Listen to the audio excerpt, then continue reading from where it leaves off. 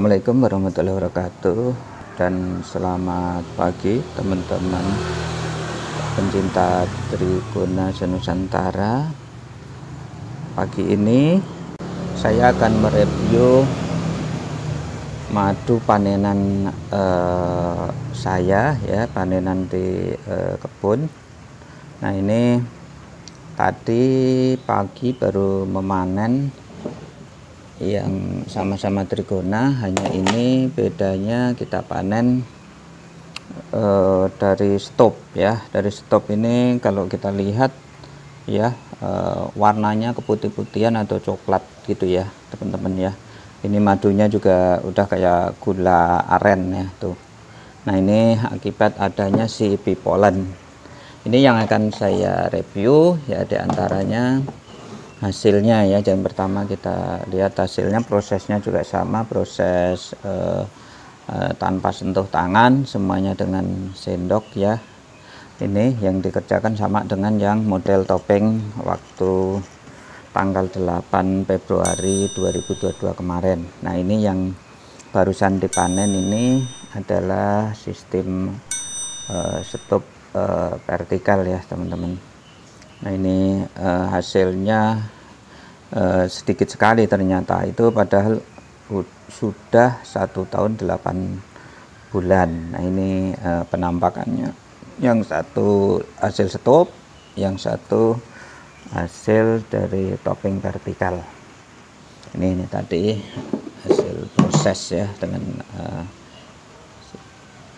uh, dengan si sendok ya hanya ditekan-tekan seperti halnya yang stop kemarin pertama dari uh, si warna ini ya yang kemarin kan kita juga panen tapi tidak seperti ini ya hasil madunya. Lah ini uh, polennya sangat dominan ya.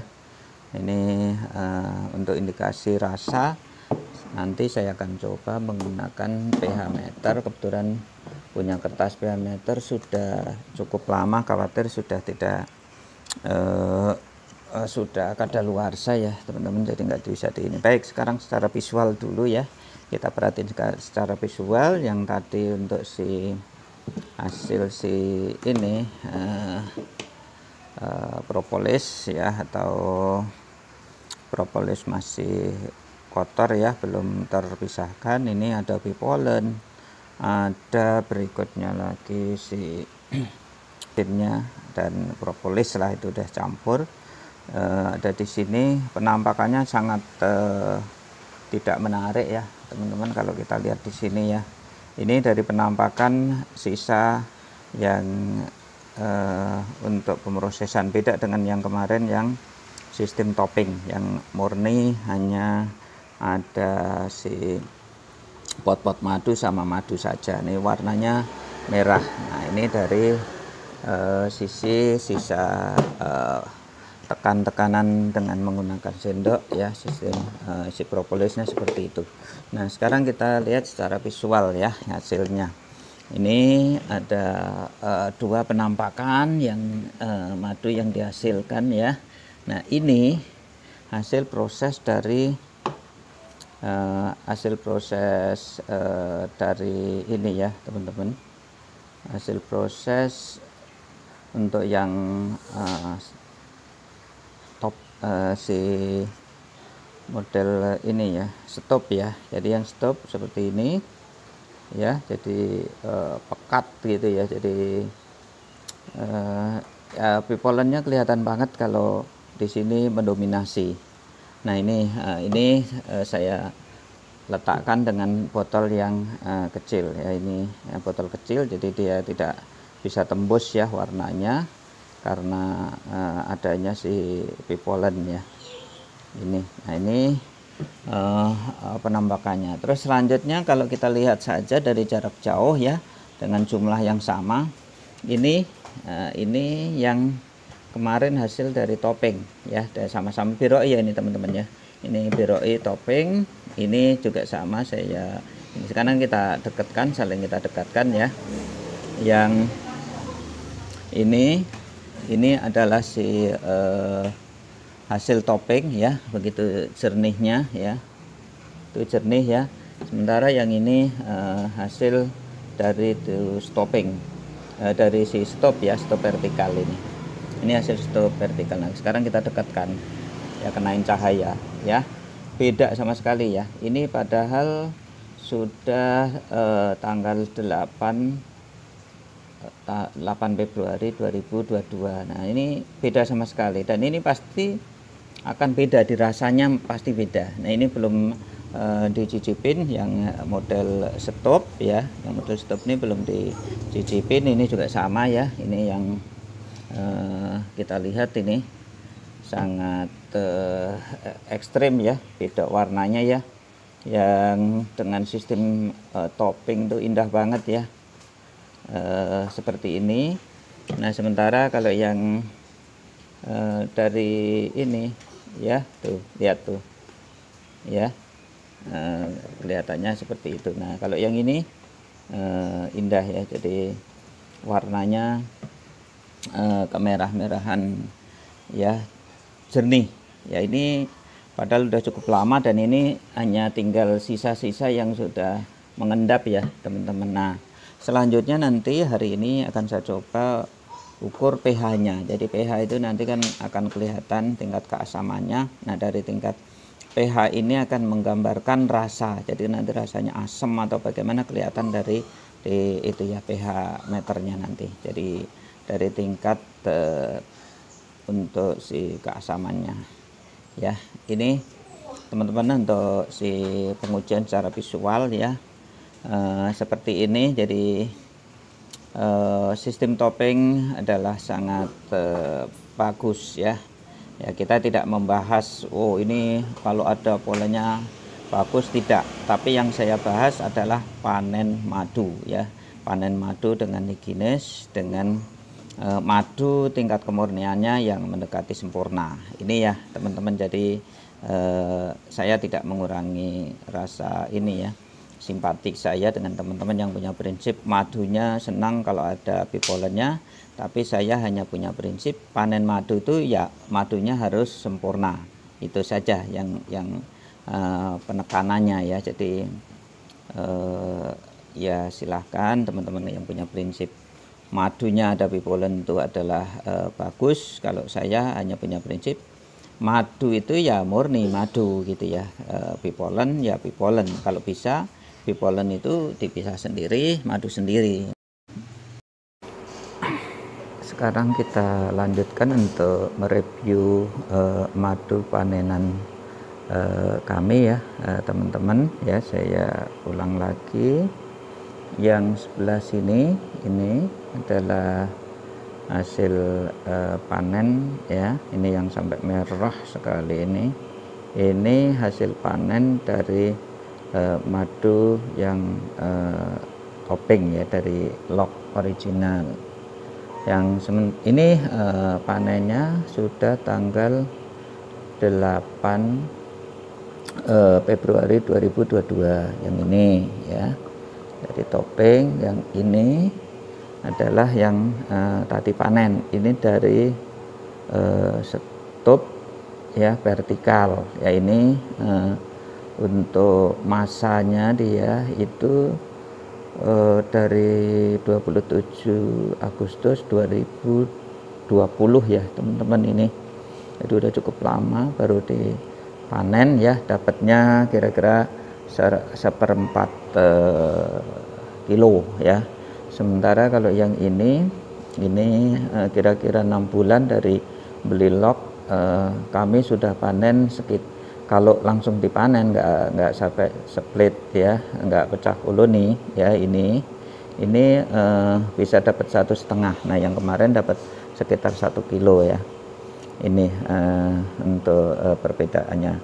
Nah sekarang kita mau melakukan uji selanjutnya yaitu mengukur uh, pH-nya. Jadi kita akan mengukur pH-nya ya, pH-nya.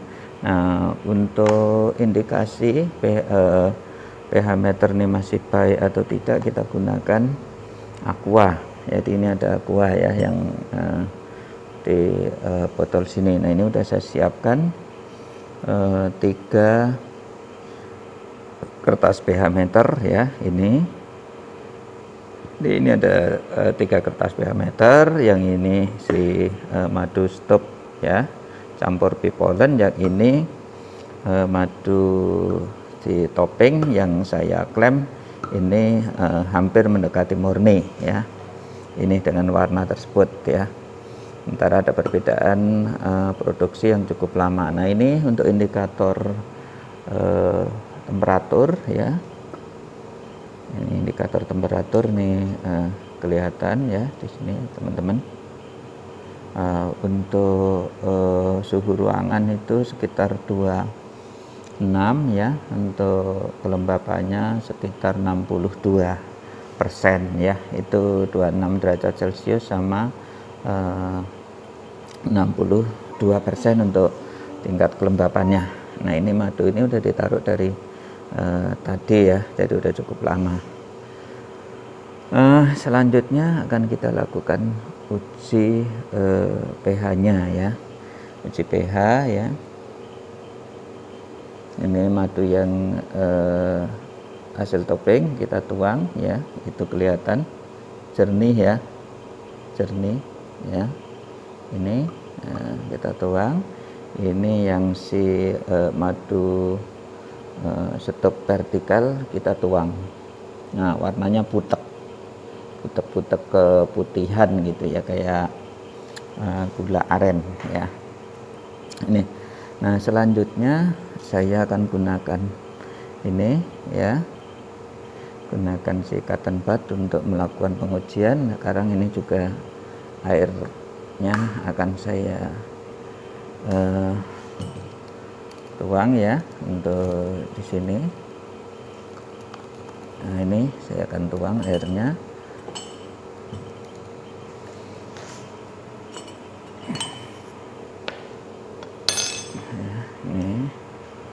kita tuang air aqua ini aqua galon ya, ya ini sudah saya tuang. Nah selanjutnya uh, saya akan lakukan uh, pengukuran untuk pH air dulu ya dengan uh, cepat ya. Nah, jadi ini sudah ini sudah basah.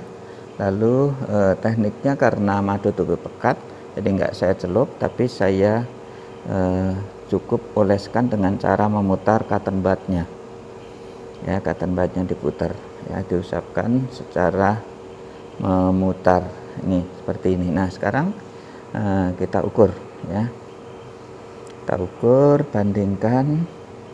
Nah ini kalau kita lihat di sini ada di uh, posisi 6 ya teman-teman ya. Jadi ada di uh, pH 6 untuk akuanya ini ya. Jadi ada di pH 6 baik nah sekarang kita akan ukur si ini pH uh, untuk ini untuk yang uh, madu uh, madu si stop vertikal ya yang campur sama uh, pipolen ini kita akan uh, usap ya. Ini nah ini. Dua kali. Nah ini kita uh, tunggu sebentar kalau di cut ya. Ini kita nah, lihat di sini. Agaknya uh, ini ya teman-teman. Uh, penampakannya ya. Ini kelihatannya kita ketutup madu ya untuk ini. Jadi kita harus uh, lap dulu uh, pakai tisu ya. Kita tutul-tutul biar nggak terlalu uh, ini. Terlalu pekat misalnya. Nah udah nih. Nah kita bandingkan ini masuk di mana nih? Ya oke masuk di uh, ini ya teman-teman ya. Di uh, 4 nih lihat ya. Ini masuk 4 ini. pH untuk si uh, untuk si madu yang campur pipolen ini uh, 4 ya.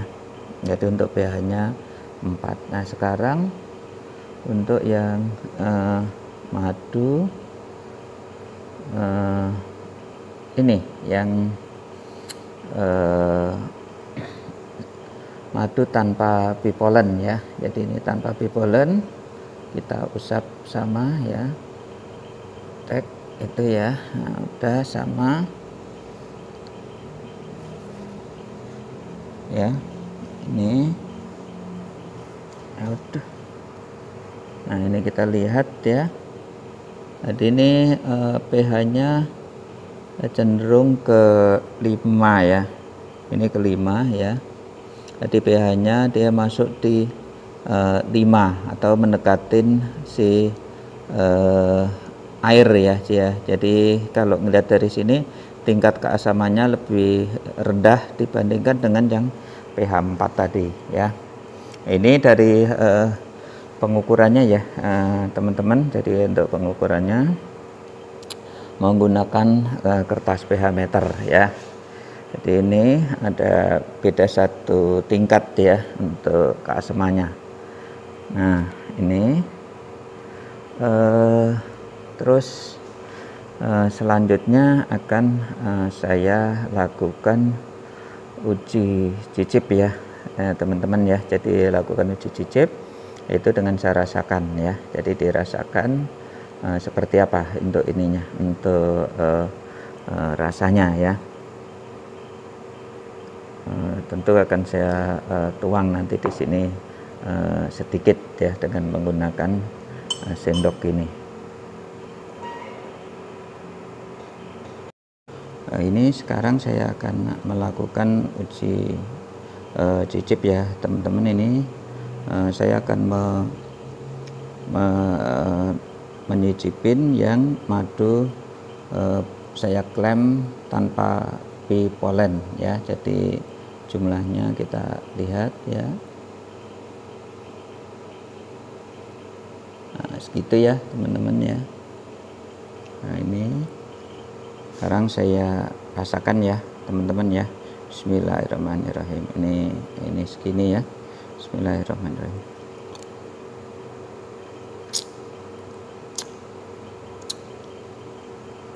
nah ini rasanya teman-teman ya jadi ini uh, manis ya manis uh, ada asamnya sedikit terus berikutnya lagi sepet ya.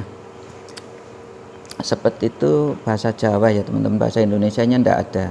Jadi sepet itu eh, kalau teman-teman mau bayangin sepet itu rasanya seperti apa kalau teman-teman pernah makan sawo sawo ya sawo buah sawo ya itu yang eh, hampir mateng.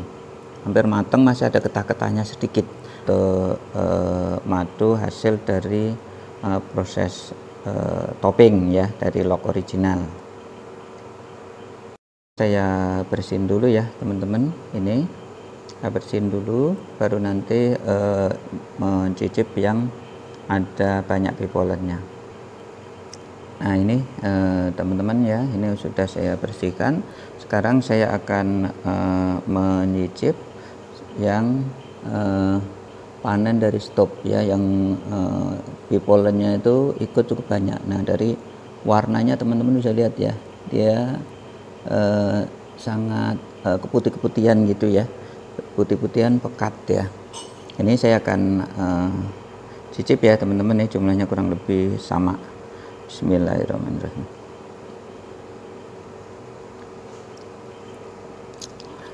Hmm.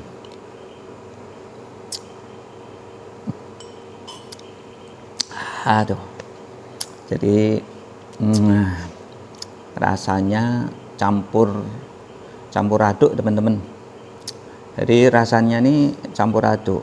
Jadi eh, asamnya itu dominan lalu aroma ini ya teman-teman jadi aroma eh, aroma bipolennya itu dominan ya jadi gimana ya nggak nggak mencerminkan rasa madu yang uh, sebenarnya gitu ya. Jadi ini untuk yang uh, campur bipolen. Jadi kalau uh, menurut saya kita panen madu seyogianya bagaimana caranya kita harus bisa membuat tuh madu itu mendekatin murni. Ya, jadi uh, jangan sampai nanti uh, muncul atau si ini ya si uh, masyarakat itu minum madu trigona eh, si masyarakat ini minum madu trigona yang dia rekam tuh ini ya jadi madu yang rasanya asam luar biasa lalu aromanya tuh tidak enak ya uh, karena bau bipolen. Padahal yang sebenarnya uh, ini ya yang ini ini anak saya senang ini minum uh, yang produk uh, ini ya. Jadi yang sampai bisa merah seperti ini ya bisa jernih begini ya. Ini uh, senang. Nah, saya tidak tahu nanti ini yang uh, seperti ini yang dulu pernah uh, kami uh, punya ya pernah beli yang uh, banyak itu tidak tahan dia untuk minum nah ini teman-teman jadi kalau menurut saya marilah kita panen madu, madu yang murni. Jadi eh, supaya madu ini juga bisa awet. Nah ini kalau teman-teman juga mau eh, pisahkan ya, ini sulit teman-teman. Kenapa ya? Karena pertama eh, tadi teman-teman lihat ya madunya itu eh, cukup pekat. Lalu untuk eh, raw atau berat jenis dari si pipolen itu kan dia organik ya, dia cukup ringan. Nah dia saat dia mencampur ya mencampur itu untuk misah juga susah untuk naik butuh waktu berhari-hari bahkan mungkin uh, butuh mingguan bahkan sampai bulanan. Apa yang terjadi? Nah, dengan adanya bipolen ini kalau sudah campur kita nunggu mingguan dia udah akan terjadi fermentasi. Nah ini uh, saya bukan orang kimia jadi saya nggak bisa nerangkan kenapa bagaimana. Tapi yang jelas saya berdasarkan pengalaman kemarin punya madu yang campur bipolen itu sekitar Eh, seming, sebulanan itu sudah pekat hitam rasanya berubah ekstrim. Berubah ekstrim menjadi asam luar biasa. Ini ya teman-teman. Jadi eh, kita berusaha bagaimana caranya untuk meman, eh, panen madu itu yang murni ya. Jadi itu dengan cara kita panen madu dengan sistem topping ya. Sistem topping e, tentunya ada hitung-hitungannya. Jadi waktu dia sudah madu naik jangan ditunggu lama. Jadi setelah dia penuh ya segera dipanen. Nah kalau setelah langsung dipanen itu tidak akan ada pipolan ya. Itu yang saya alami ya teman-teman. Saya tidak tahu kalau di tempat teman-teman seperti apa saya tidak tahu ya. Nah itu uh, itu yang uh, saya perlu review ya. Jadi review ini yang saya review bukan punya teman-teman ya. Saya tidak menyinggung punya produk uh, produk teman-teman, tapi yang saya uh, review saya bahas nih hasil panenan kebun saya sendiri ya jadi jangan sampai ada yang tersinggung ini yang saya review milik saya sendiri saya komentarin nah, seperti ini jadi kalau uh, teman-teman uh, ya setuju untuk panen madu murni ya mari dengan cara merubah uh, cara proses cara awal uh, budidayanya lalu cara, caranya ya sebenarnya sederhana aja. Bagaimana caranya kita bisa panen madu itu dengan sistem topping. Uh, saya akan bahas panjang lebar untuk masalah ini ya masalah untuk uh, supaya bisa panen topping ya di madu di topping ini dengan video saya yang cukup panjang ya karena di situ uh, video saya itu uh, membahas masalah bagaimana uh, ukuran si uh, stop ya untuk si stopnya. Jadi stop yang eh, kami inovasi atau kami buat itu dengan eh, kami istilahkan adalah eh, stop dimensi natural. Akhirnya itu yang bisa eh, saya sajikan untuk review madu di eh, panen madu di kebun kami antara versi yang hasil uh, untuk uh, stop yang warnanya pekat tidak bisa tembus uh, lensa dan dibandingkan dengan madu yang lock ya dengan hasil sistem uh, topping ya jadi ini. Ini ya teman-teman uh, dengan uh, hasil yang kami review ini akhirnya uh, saya minta maaf kalau mungkin tidak sejalan dengan pemikiran teman-teman. Uh, uh, mungkin menyinggung perasaan teman-teman ya kami mohon dibukakan pintu maaf yang sebesar-besarnya karena tidak ada niatan sedikit pun bermaksud menyinggung apa yang uh, punya prinsip teman-teman. Dan harapan kami kegiatan setiap kegiatan itu banyak manfaatnya untuk kami sekeluarga dan untuk teman-teman pencinta Triguna senusantara. Dan saya akhiri dengan ucapan terima kasih. Wassalamualaikum warahmatullahi wabarakatuh dan salam sukses sukses sukses sukses dan selalu sehat ya